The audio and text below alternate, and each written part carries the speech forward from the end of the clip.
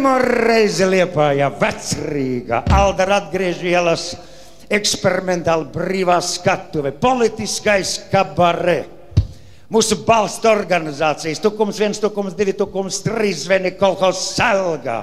Latvijas komunitnes centra komitejas pirmais sekretārs Ivars Priedītis, jaunatnes teātra direktors Staņislavs Gudzoks, informatīva sabiedriska politiska revolucionāra romantiska dubultmērķa programma komercdziesmu ietvaros vajag tik rakt.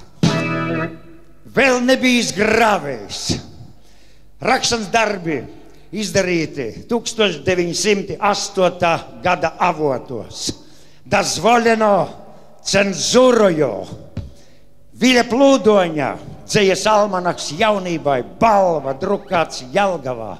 Ar paša visu žēlīgā ķaizara Nikolaja otrā vēlēšanu avīze, mājas viesis un Eduarda Treimaņa zvarguļa zobgala kalendārs.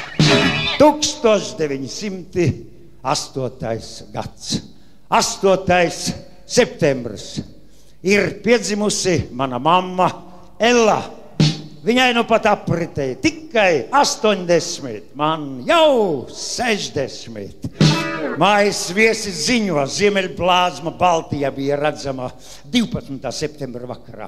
Debesis plaiksnījās dažādu krāsu gaismā, gaismā švītras sprēgādamas, te cēlās, te nozuda manas dzimtās puses alūksnes zeltiņu virzienā. Vēl nebija gadījums mūsu intīmā, intonācijā, vispārības labā. Neatgriezenisks vecu lietu restaurācijas mēģinājums vajag tik rakt.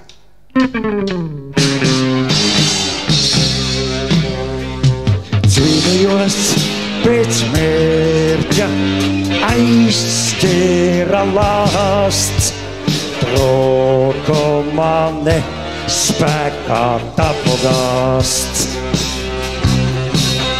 Cerēju uz ļaudīm, attimētu tos, tikai pats sevi gremējos.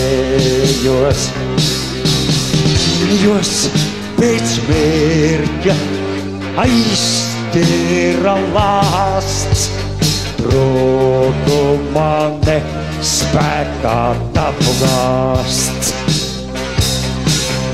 cerēju uz ļaudīm, atmētu tos, tikai pats sevi gremējos.